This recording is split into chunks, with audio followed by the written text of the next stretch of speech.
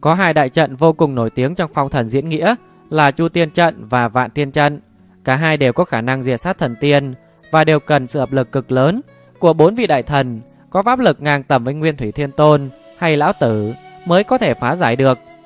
Tuy nhiên, Thông Thiên giáo chủ lại là sư đệ phía dưới hai vị sư huynh là Lão Tử và Nguyên Thủy Thiên Tôn. Vậy thì tại sao ông ta lại có thể tạo ra một đại trận khó phá đến như vậy? Trong kỳ này, chúng ta sẽ cùng tìm hiểu về Chu Tiên trận và Chu Tiên tứ kiếm.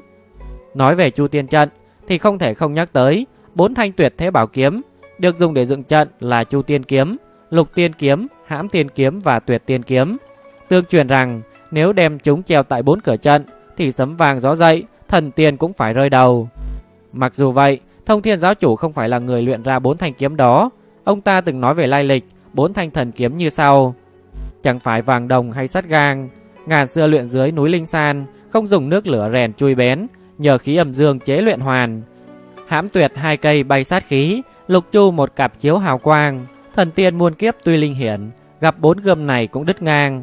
Thuở xưa, sư phụ của ba người lão tử Nguyên Thủy và Thông Thiên là Hồng Quân lão tổ đã tìm ra bốn cây kiếm này, nhưng vì biết sát khí của chúng quá lớn, có thể gây tai họa nên ông quyết định không giao cho bất cứ đệ tử nào mà cất ở núi Phân Bửu.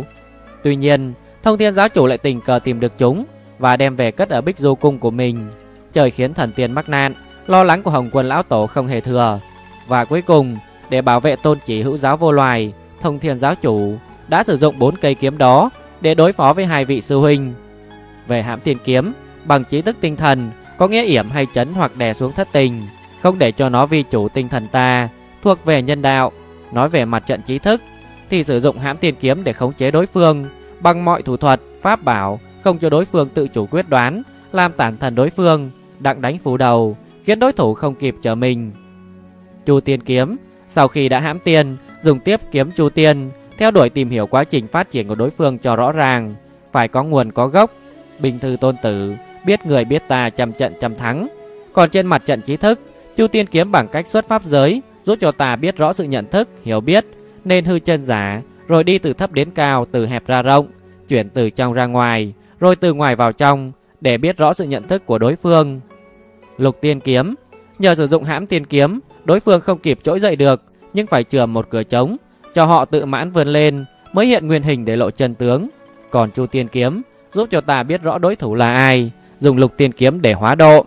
Tuyệt Tiên kiếm khi đã trải qua ba tinh thần hãm chu lục, lúc ấy mới khẳng định đối phương thuộc hóa nhân hay quỷ nhân, có nghĩa là phân loại được tránh tà nên hư giả thiệt, không còn sai sót, thì tuyệt tiên kiếm giúp nhằm mục đích tạo đời cải giữ ra hiền, lấy chữ hòa làm tôn chỉ đặng thu phục nhân tâm, ưu nhân ái vật cải thiện dân sinh, làm cho đại đồng thiên hạ không bỏ một ai, cả thảy đều là người ơn, giúp ta tấn hóa hoàn thiện hơn. Sự vận hành trên mặt trận trí thức tinh thần qua bốn cây tiền kiếm, hãm chu lục tuyệt, nói trên đều thuộc về bí pháp chân truyền hợp bửu kỳ sơn. Còn dưới núi phân bửu kỳ sơn thuộc tinh thần thể pháp thanh hương, ý thức của Đức Hồng Quân lão tổ muốn nói, pháp bảo nào cũng cao siêu vô đối cả, hay nói cho rõ trong cao đài có bốn cơ quan chính trị đạo yếu là hành chánh, chu tiên kiếm, phước thiện, hãm tiên kiếm, phổ tế, lục tiên kiếm, tòa đạo tuyệt tiên kiếm, cũng còn gọi là tứ đại bộ châu.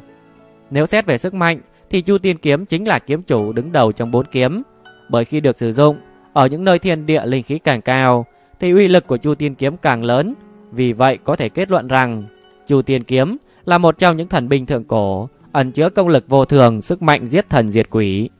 Thứ tự các thanh kiếm trong trận như sau: cửa đông treo Chu Tiên kiếm, cửa bắc treo Lục Tiên kiếm, cửa tây treo Hãm Tiên kiếm, cửa nam treo Tuyệt Tiên kiếm. Thông Thiên giáo chủ thì đứng ở đài bát quái mà điều khiển trận. Khi các tiên thuộc phe xiển giáo tới xem, chỉ thấy có vỏn vẹn bốn thanh kiếm đó, nhưng khí độc đã nổi lên ngất trời, gió thổi ghê mình, biến hóa trăm ngàn thứ lạ. Các vị tiên phe xiển giáo chẳng có ai dám bước vào Chu Tiên trận, vì một khi bước vào họ chắc chắn sẽ phải chết. Sư phụ của họ là Nguyên Thủy Thiên Tôn, thi thử một mình xông vào trận, dựa vào pháp bảo là Trầm Hương Liễn, vốn có bốn bụi bông sen hào quang sáng chói.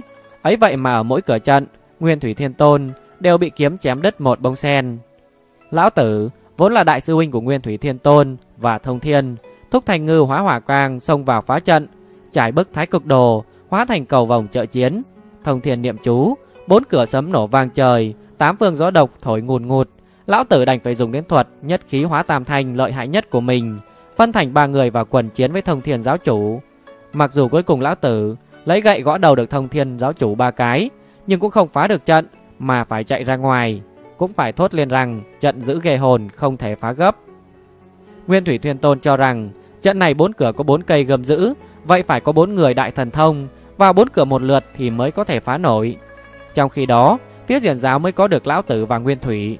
Điều may mắn là chuẩn đề đạo nhân thấy ao sen nở 200 bông, ứng với 200 tiên ở cả hai bên trận doanh, nên mới cất công tới để đón 200 người có duyên về Tây Phương. Ông ta cũng mời thêm cả Tây Phương giáo chủ là tiếp dẫn đạo nhân tới hỗ trợ. Bốn vị đại thần thông hợp lực, lão tử cửa Tây, Nguyên Thủy cửa Đông, tiếp dẫn cửa Nam, chuẩn đề cửa Bắc. Nguyên Thủy Thiên Tôn hiện ra hào quang chiếu sáng, thấp thoáng hình bông sen, cản lấy Chu Tiên kiếm. Tiếp dẫn sử dụng pháp bảo là bà viên xã lợi, cản lấy Lục Tiên kiếm. Lão tử sử dụng lung linh bảo tháp, hiện hào quang cản lấy hãm tiên kiếm.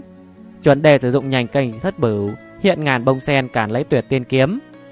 Sau khi bốn vị đại thần thông vào bốn cửa trận, thông thiên giáo chủ vỗ tay bốn cái, và thế là sấm dậy ầm ầm, trận chu tiên tua tủa hào quang, giáo gươm bao phủ, lửa dậy phừng phừng, gió bay ngùn ngụt. Thông thiên giáo chủ cầm gươm phép chém tiếp dẫn, tiếp dẫn đưa phất chủ ra đỡ, bông sen ngũ sắc cản gươm lại. Tiếp đó lão tử cầm gậy xông vào, Nguyên Thủy cầm ngọc như ý đánh tiếp, chuẩn đề lắc mình hiện ra 18 tay, cầm đủ các món binh khí và bửu pháp, lại kêu lớn: "Đạo hữu tới đây cho mau!" Tức thì chim khổng tước bay đến trợ lực. Thông thiền giáo chủ đỡ không kịp, bị lão tử đánh trên lưng một gậy, Nguyên Thủy Thiên Tôn đánh ngọc như ý ngang vai, chuẩn đề đánh một gia kỳ sử nhằm đùi. Thông thiền té xuống khuê ngưu, liên đằng vân bay lên thì bị nhiên đăng quanh định Hải Châu đánh ngã xuống. Còn bốn vị đệ tử xiển giáo ở ngoài trận, thấy sấm chớp vang lừng, lửa dậy gió rung, liền xông vào giữa trận cướp lấy bốn thanh gươm. Quang Thành Tử lấy được gươm Chu Tiên, Xích Tinh Tử lấy được gươm Lục Tiên, Ngọc Đỉnh Chân Nhân lấy được gươm Hãm Tiên, Đạo Hạnh Thiên Tôn lấy được gươm Tuyệt Tiên. Bốn cây gươm báu bị đoạt hết, trận Chu Tiên tan vỡ. Thông Thiên giáo chủ một không địch lại bốn, hóa hào quang bay đi. Các đệ tử triệt giáo thấy thầy mình thua trận, đều lén trốn về động. Nguyên Thủy Thiên Tôn thấy trận bị phá tàn nát, đắc ý cười lớn và ngâm rằng: Thông Thiên giáo chủ lập Chu Tiên, bốn cửa treo gươm ý chẳng hiền, can gián nhiều lần không chịu dẹp, tan tành một trận mới đành kiêng, bị thương cũng bởi khoe gan mật, chịu nhục chỉ vì tánh đảo điên, cho biết phép tà không lại tránh, cãi trời bao thỏa được bình yên.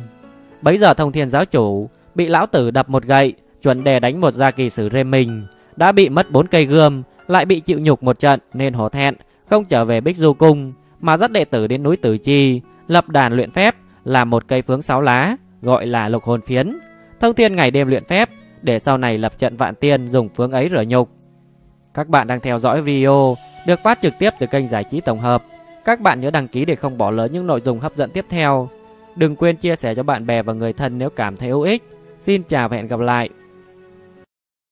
Hậu Tây Du Ký phần thứ tư Phật Di Lặc trổ tài ngộ không đốt chùa Ngộ không một mình đánh bại cả bốn vị La Hán Thì đắc chí cười lớn Lúc này La Hán Di Lặc ở trên mây nhìn xuống Thì không khỏi tán thưởng tài nghệ của Hầu Vương liền có ý xuống thử tài. La Hán bay đến trước mặt cúi chào Ngộ Không, dáng vẻ bỡn cợt. Ngộ Không tức khí nói: "Lão Tôn có công giúp Đường Tăng lấy chân kinh, đã được Như Lai phong làm đấu chiến thắng Phật, lão béo còn dám khinh thường ta." Nói đoạn, Thạch Hầu vương gậy đập tới, Di Lặc nhẹ nhàng dùng vòng hạt gạt đỡ, có ý thoái nhường. Đúng lúc đó, bát giới từ trong bụi sen phi thân ra cản đường, Di Lặc vừa cười vừa vỗ vào bụng bát giới, tỏ ý châm chọc. Ngộ năng, đã lâu không gặp mới làm tịnh đàn sứ giả mà sao bụng đã to đến thế này. Bát giới giận tím mặt, vùng đình ba bổ luôn mấy nhát. Là Hàn cũng khẽ lắc mình tránh khỏi. Vì là Hàn vẫn còn ý muốn trêu đùa bát giới liền nói, lão tăng không muốn động đến bình đào, dễ mất hòa khí, chúng ta dùng bụng đánh nhau được chăng? Bát giới sinh nghi đòi đánh trước, Di Lạc ngồi xếp bằng vận khí, khiến bụng to hơn trước. Bát giới dồn sức dùng đầu húc mạnh, quái thay, bụng Di Lạc cứng như tường đồng vách sắt, làm bát giới văng ra mấy vòng, sưng u cả đầu. Bát giới tức khí đứng dậy, vận sức dùng phép hóa đầu thật cứng, tiếp tục lao vào. Lạ thay, lần này bụng La Hán lại mềm ra như bún, làm đầu bát giới lún sâu vào bên trong, không rút ra được kêu là kinh hãi.